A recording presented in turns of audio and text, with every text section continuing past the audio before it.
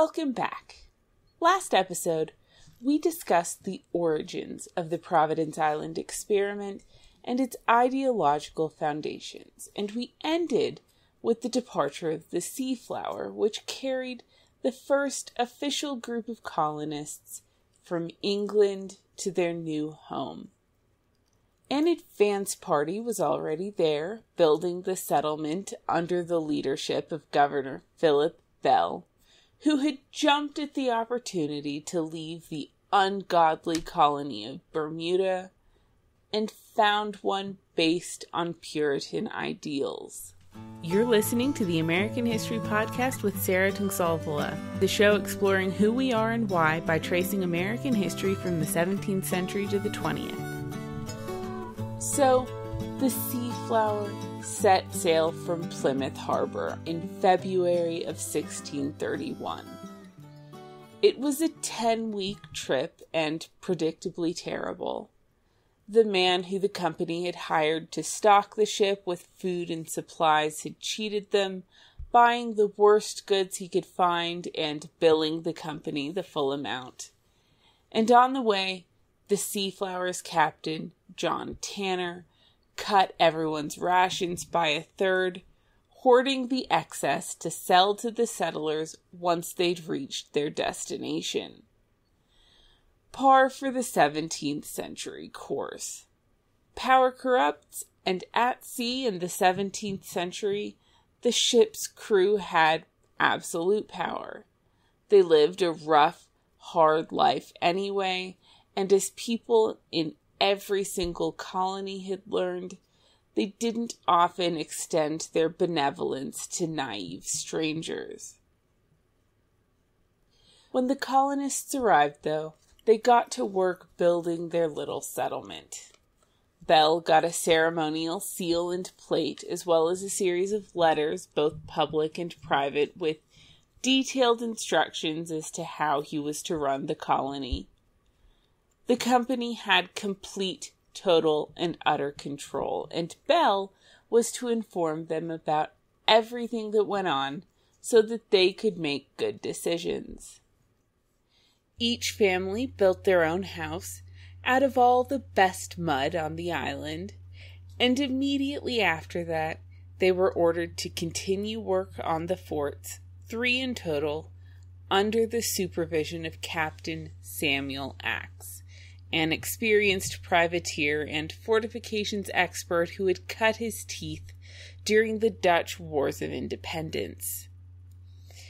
And they would receive military training at least once a month, led by Captain William Rudyard.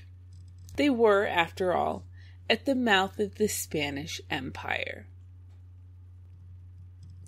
And then they were ordered to grow enough food to be self sufficient. Only after they'd grown enough food would the company consider sending more settlers and servants to help with the work. Beyond food, they were also ordered to experiment with commodity crops. Bell would assign experimental crops to each family and inform the company about which ones they were growing. Growing exotic plants would have the double benefit of supporting the company and reducing England's dependence on Catholic countries like Spain and Portugal for luxuries like silk, wine, and ginger. And Axe had brought all the finest scientific books in England to maximize the chance of crop success. And back in England, the company was looking for profitable commodities. They had friends in other colonies and trading companies like the East India Company, and it wasn't long before their dock was full of samples of exotic seeds, shoots, and plants. Some were foods, some were medicines, and plenty were used to dye cloth. But after one transatlantic voyage, the company was already in debt in addition to paying the ship's crew four pounds per passenger, the company had hired the ship at a rate of a 130 pounds per month. It was supposed to be gone for nine to ten months, but ended up being gone for over a year. There were only 20 people paying the entirety of this cost, which now came out to about 1700 pounds. And some of the investors were reluctant to actually give the company the money they owed. To make up the difference, John Pym borrowed money at interest. But like so many before them, the Providence Island Company remained optimistic that this would be a one time investment and that soon the colony would be self supporting and sending back precious commodities. And to fuel their optimism, three months before the Seaflower returned to England, but a month after they'd expected it to, the company received letters on a different ship sent via Bermuda in which the colonists expressed their own optimism. This island is amazing. It can grow anything. Precious things are already growing wild. We've already planted a ton of different types of fruit. This will grow into one of the great gardens of the world.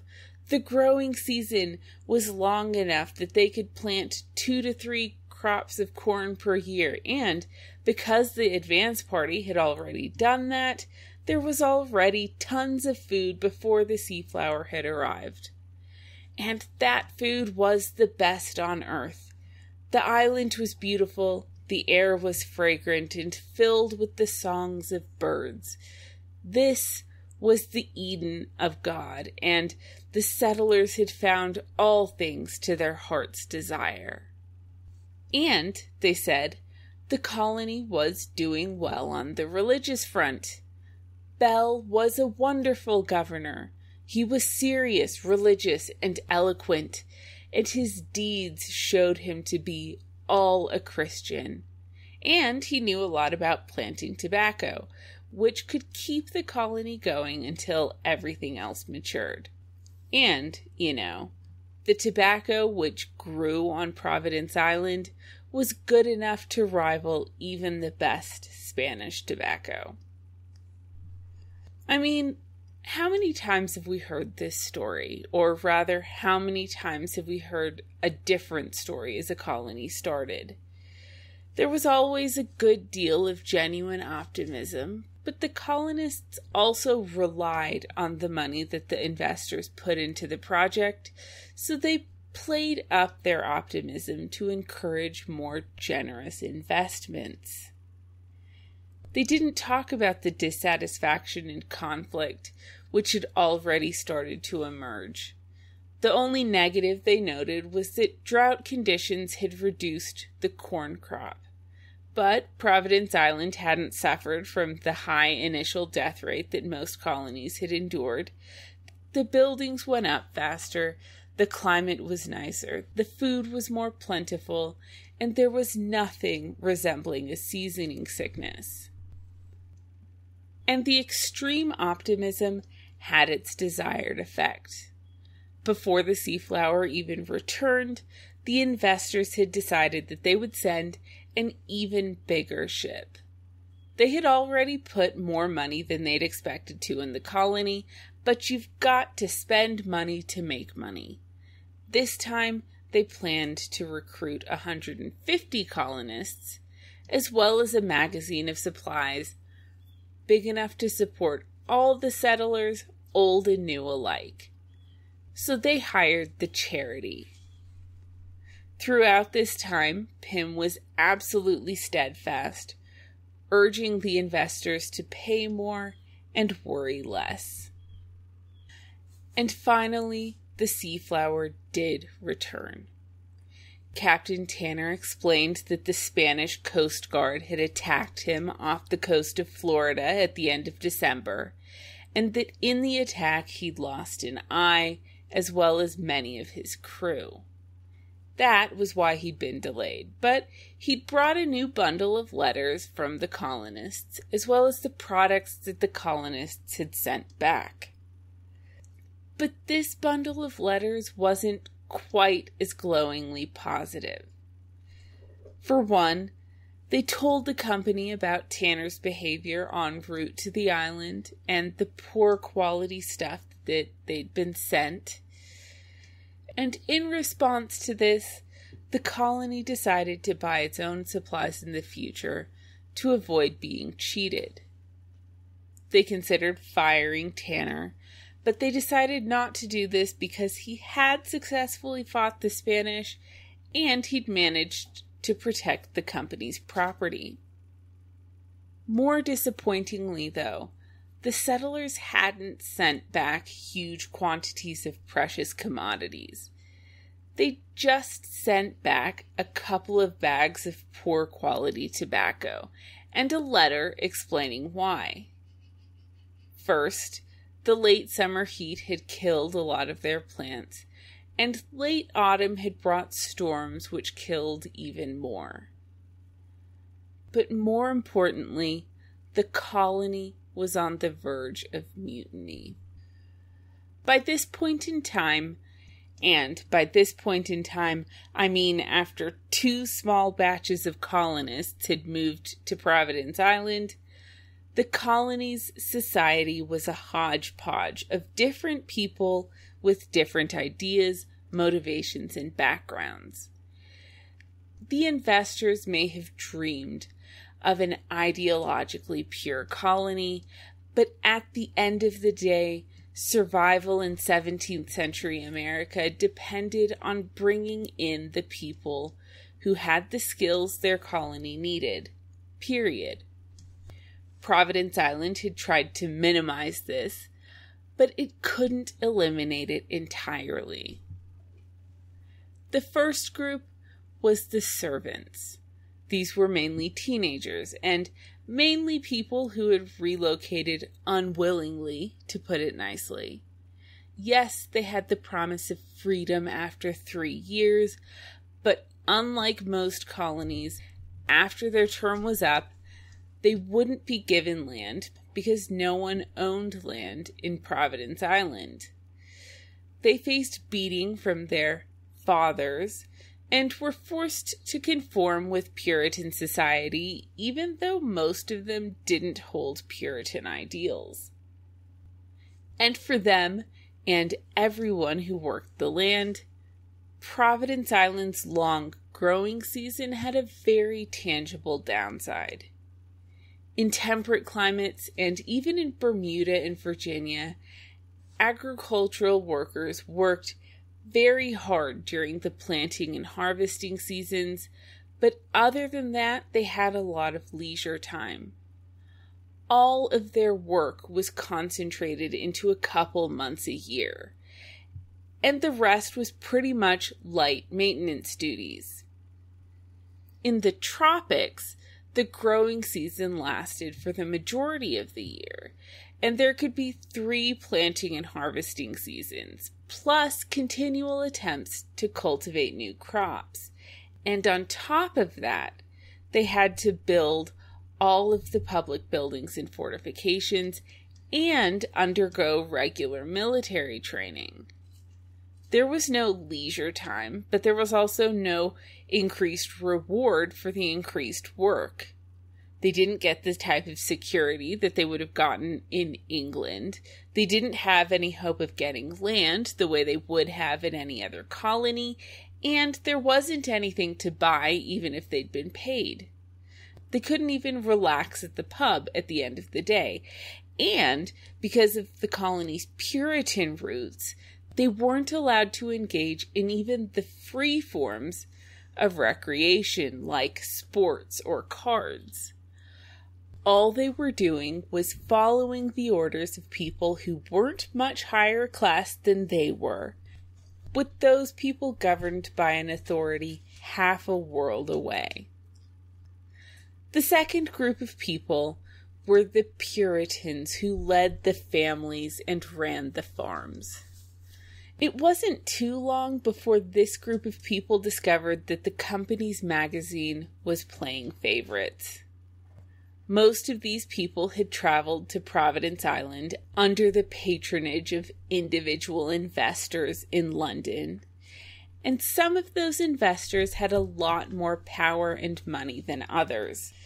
So, at the magazine, some people got virtually nothing or even had their goods confiscated, while others got as much as they needed. To make matters worse, there were actually Dutch ships regularly passing by who offered to sell them supplies at better prices. But even the people who were being cheated worst by the magazine had to turn down the offer. They also faced all the problems of increased work with decreased compensation, and they were reminded of the Spanish threat, but they still resented the imposition. And perhaps most of all, there was a deep sense among these people that the system of land distribution was unfair. Not only did they not get permanent ownership of the land, they also had to give the company half of everything they grew, plus pay a corrupt magazine for supplies that they could buy more cheaply elsewhere, plus give their time to build a public works and take care of public officials. So, for the privilege of being on this little island, they had to work harder than they'd ever worked in their lives, ultimately give everything back to the company, and be treated unfairly by the company. Finally, the third group of people who colonized the island were the military type people. These people may have been Puritan, but they were Puritan in a fiery, brash, and oftentimes cruel way that was reminiscent of people like John Endicott, who shared a very similar background. These were predominantly ship's captains with dreams of privateering, and whether or not the company wanted them, their presence was an undeniable necessity. Never since the earliest days of Jamestown had a colony been so brazenly encroaching on Spanish territory or so likely to provoke an attack. Under the circumstances, conflict was inevitable. The company actually got a hint of the colonists' disgruntlement at the land situation, but they brushed it off and simply said that all the colonies had used a similar system. And, they said, soon they'd all be so rich that no one would care. Now, the full story is that all the colonies had started with a similar system, but no colony except Providence Island was still using it by 1631 because in each colony, that system, known as tenancy at halves, had led to severe economic failure. Every colony had had to turn to a system of private land ownership and the quicker they did that, the faster their economic recovery.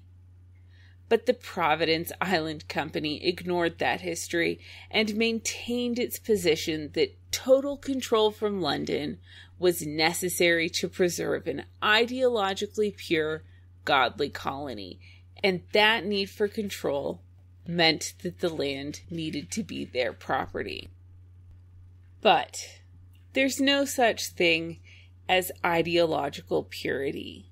Differences will always arise, and it was a difference of opinion on proper Puritan practice that set off the powder keg that was Providence Island society. Specifically, it was a difference of opinion between William Rudyard and the colony's minister, Lewis Morgan. Morgan was 22 years old, enthusiastic, Oxford educated, and devoted. He was certainly young, but older ministers had wives and children, and the company wasn't allowing families to go to the colony yet. so they were pretty much inevitably going to be stuck with somebody who was much younger, at least early on. He led the colony in prayers twice a day, and at the end of the evening prayers, he liked to lead his congregation in the singing of psalms. But singing psalms was a controversial practice. People who supported it said that they were a godly alternative to raunchy ballads and folk songs. But Others argued that singing psalms had never been a part of traditional church services, so they were sort of a contrived practice. And Captain Rudyard was in that camp. Rudyard was the younger brother of Benjamin Rudyard, who was one of the London investors, and he was a cousin of the Earl of Warwick. Plus, he was the colony's military leader. So Rudyard criticized Morgan, and Morgan returned the insult, calling Rudyard's remarks sacrilegious. And soon the fight went beyond psalms. Rudyard was older, respected, higher class, and used to military style authority. On the basis of any one of those things, he felt that Morgan should back down and submit to his higher status. But Morgan stood his ground. And then Morgan voiced lots of criticisms of Rudyard that the other colonists hadn't previously been able to. The colonists split into factions supporting either Rudyard or Morgan, with the military largely on the captain's side and everyone else behind the minister. As revolt loomed, Morgan wrote to London telling the company that Rudyard was frequently drunk, abused his power over the settlers, and caused constant conflict. He said the company hadn't laid the foundations for a community of devout believers, and then after listing the settlers' grievances, he accused the company of being primarily motivated by greed and said that the investors were putting on a hypocritical show of godliness for the encompassing of ungodly ends. And that was the main letter that came on the Seaflower. Other private letters complained to individual investors, evidently with even harsher accusations about the company, and concerns about the military presence on the island. They were particularly worried about Elfrith's increasingly reckless behavior. And in fact, one of the leaders of Morgan's faction, a man named John Essex, had boarded the Seaflower personally so that he could voice the colonists' complaints in person. He may have even been planning to publish some of the letters, but he'd been killed in the Spanish attack. The company wasn't happy, and Morgan took the bulk of the blame. They may have outfitted him lavishly and allowed him to live in the governor's mansion, but at the end of the day, he was little more than a middle class kid who was filling the role of minister until the colony stabilized and they could send someone more experienced. He was not supposed to be leading revolts. So the company ordered Bell to return Morgan to London, but they told him not to tell Morgan about the plan until the charity was getting ready to leave the island. They also sent a public letter aboard the charity accusing the colonists of being no better than the Israelites, who were not satisfied with the promise of that good land which God had provided them. They pointed out their own enormous expenses, which already came out to over 600 pounds per person, They told the colonists that their peers would call them fools for investing so much, but they said that they and the colonists alike had been given a great opportunity to serve their nation and their religion, and that neither group should take the mission lightly. And, they said, a lot of the blame for the problems lay with the settlers, who hadn't adequately experimented with commodities or even planted a large quantity of tobacco. And they pointed out that the settlers knew the terms before they went and that they had had nothing before. So, why were they complaining exactly? And it was with this attitude that they went through each one of the complaints voiced in the colonists' letters. And for the time being, they left it at that. Essex had been killed and Morgan would be sent back, so maybe the situation would dissipate. They forgave the other ringleaders, like Edward Gates, and sent some seeds of potential commodities like mulberry trees, rhubarb roots, and cotton, pomegranate, and pepper, which would be picked up on the way to Providence Island and there were a few concessions and promises, including the potential of sending women, eliminating the family structure, and organizing some lifelong leases. They also sent more instructions for the colonists, telling the colonists to plant some sugar for their own personal use, even if the island wasn't fit for large scale plantations the new instructions included specific guidelines for Elfrith in response to colonists' increasing concerns, explicitly ordering him not to provoke any hostile confrontations unless he had specific instructions from London. If the island was attacked, he could defend it, and that was it. And they've reiterated that Elfrith would be subservient to Bell and the Council, and they decided to send away some of the less godly people, most of whom had come from Bermuda. Though the military presence would still remain.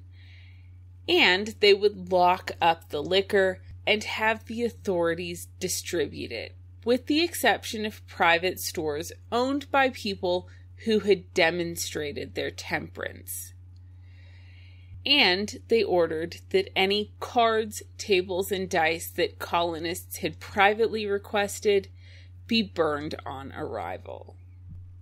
If colonists wanted recreation, they could play chess or go shooting, and that was it. And they were still forbidden from trading with other countries' ships.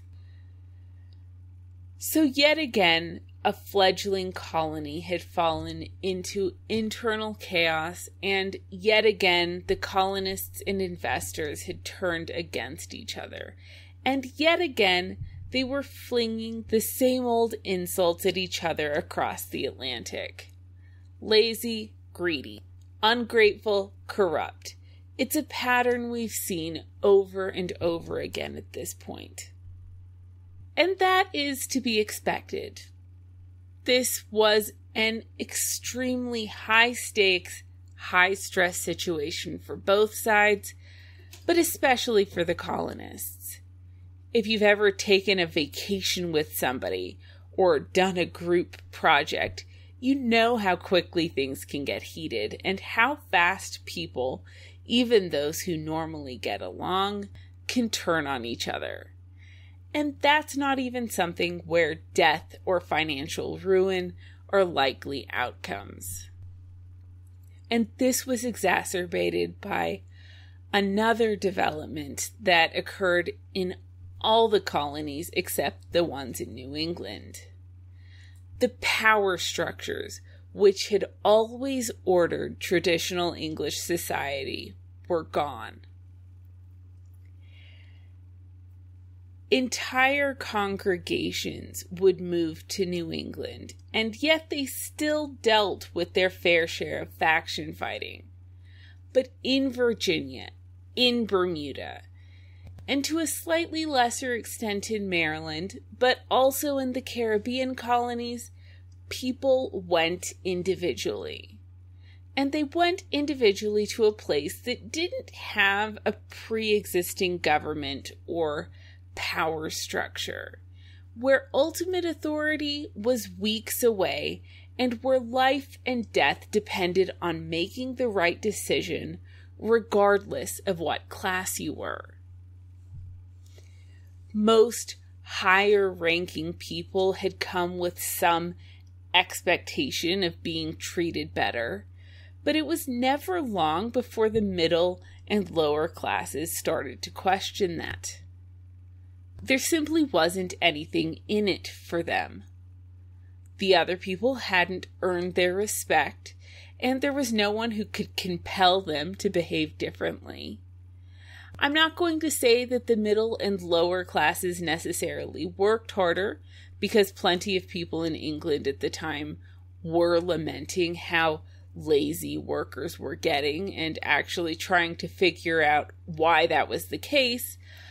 But regardless of how hard they worked, there was no benefit to simply submitting to people because they may have been their social superiors in England.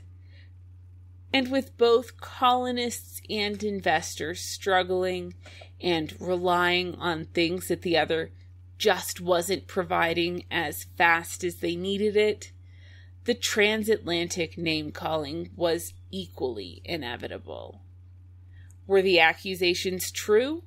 Were investors really driven by pure greed? And were colonists really so lazy that they'd rather fail or even die than work? Well, whether you believe them is for you to decide. And more relevantly, the question is why did Providence Island fail to overcome these problems, where places like Jamestown and Plymouth succeeded? And there's really one major tangible difference that we've seen so far because the other colonies were slow to privatize land. That is the determination of the company to keep total power in England, to avoid the creation of government structures within the colony, and requiring that even the most minor run of the mill decisions go through the company in England.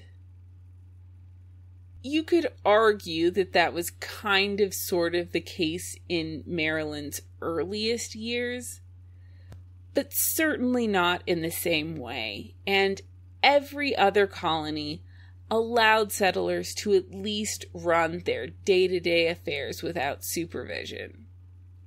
And they didn't strictly regulate settlers' recreation either.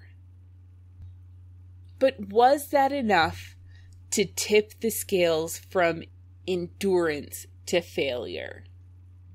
We'll continue to think about that, but next week we'll see the escalation of all these problems and the creation of a couple more. Thanks for listening. If you have any opinions, thoughts, or theories about anything we've discussed in the show, I'd love to hear from you either on Facebook or Twitter, and you can find those links at the website AmericanHistoryPodcast.net, as well as links to firsthand accounts and things. See you next week.